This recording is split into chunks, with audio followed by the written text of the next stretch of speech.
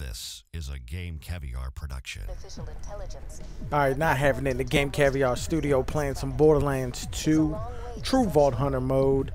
Uh, this is on PC, and today I wanted to talk about Borderlands 3, not the pre-sequel that's coming out this year. I know that's coming out, and I'm not talking about the Vita game that's coming out this year. I'm talking about straight up Borderlands 3 and I haven't heard any information of it yet. I know that it's probably not going to be any information out for a long time after the pre-sequel comes out, but um, I, I, noticed that at the end of Borderlands 2, where they show the map of all the vaults, I wanted to touch on that to see if it's even going to be uh, referenced or why, why would I have to do that? I don't want any of that. If it's going to be uh, talked about in the next Borderlands, because what I would like to see is a. Uh, Let me know when you're ready to go meet with Sir Hammerlock, Why did they just force me to take that gun?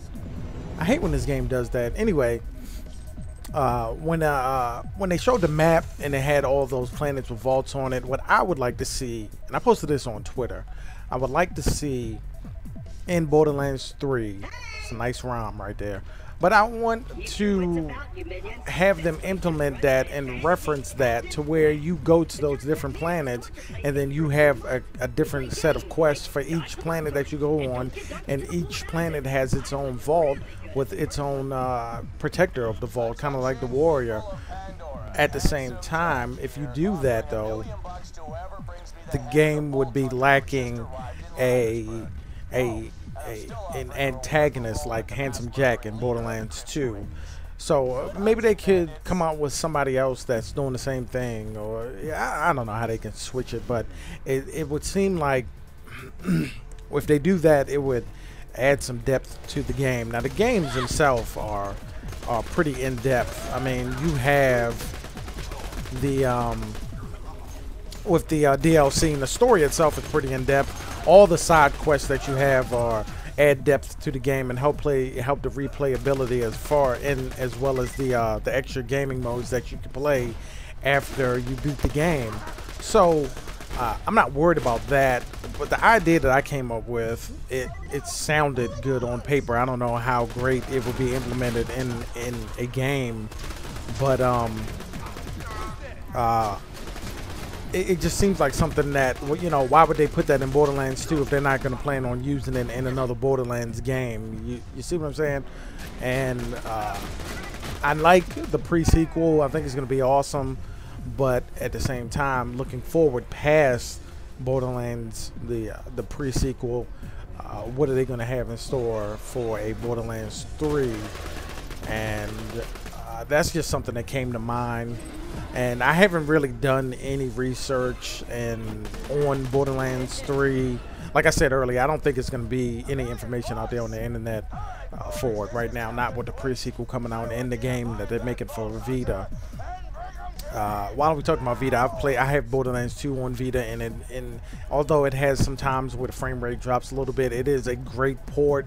It's definitely something that uh, I would like to see Sony do. I know they were coming out with like a Bioshock, but then it ended up getting killed, uh, and they weren't going to do it. But uh, I would like to see Sony and uh, the developers really just go and and put more ports on Vita because the Vita is it's, it's a handheld game, of course, but uh, it's a handheld gaming platform, but it's powerful enough to that you can take these ports like Borderlands and you can make them, even if it's not a direct port, you can make it to where you can bring those games to Vita, and I think that that would be an amazing thing for the Vita. The remote play between Vita and PS4 works well, though. I do know that.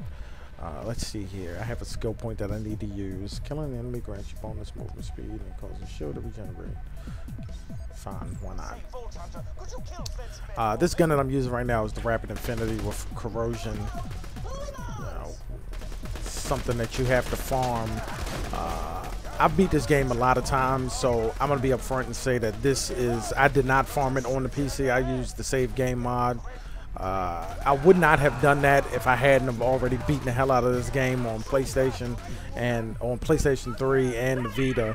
So uh, I just I, I, got a great deal. It was part of the Steam sale when I got this game, and I was like, you know, I don't I don't really I don't really feel like dealing with going through that. Like I like playing the game, but after I've gone through the grind of beating it, I definitely did not want to do it again. Uh, but uh, it's just it comes down to me being a lazy ass, and uh, the save edit was out there, and I was like, you know what, I'm gonna try it out. So a lot of these game, a lot of these guns you can get in the game. Like you can farm this one, the Rapid Infinity, and let's see what else I have. I have the uh, the corporate bitch. I don't know where you farm that from, but this one you get this. Uh, what is it, Doc Mercy? You can get it from him. Uh, the one thing about these um, legendary weapons is that you can get them from anything that drops a a, a gun, any loot source, a chest or anything, but the percentage uh, of the the chance of them happening uh, is very low. So I know on the on the Vita I got a Whiskey Tango Foxtrot from some random. Um, some random animal that I was killing in the desert, and I thought that was pretty cool. But uh, the thing that goes along with farming these weapons is that it will take a while to do it. So it's cool when you get one, but actually grinding forward and farming these these bosses or these areas where these weapons are normally dropped will take a while. But anyway, uh, without this file size becoming too damn big, I just want to wrap up. Um, what do you think is going to be in Borderlands 3. Let's look past the pre-sequel because we have information on the pre-sequel, but let's look at what they're going to do for Borderlands 3. Uh, if they're, I mean, if they, I, am guessing that they're going to make a Borderlands 3, but if they don't, then that would be terrible. I know they're making a, a totally different game, so we might not even see a Borderlands 3 for some time, unless they have two teams, one working on Borderlands 3 and another one working on that new uh, game that they're coming out with. So it may be a while before we even see a Borderlands 3 or even hear about it. But in case they do come out with a Borderlands 3, what type of things would you like to see? I mean, is the idea of going from planet to planet and going from vault to vault something that you would like to play? Uh, or would you like to see it go in a totally different direction? So let me know. Anyway, not having it at Game Caviar Lounge. I'm out. This has been a Game Caviar production. Like this video and subscribe for more.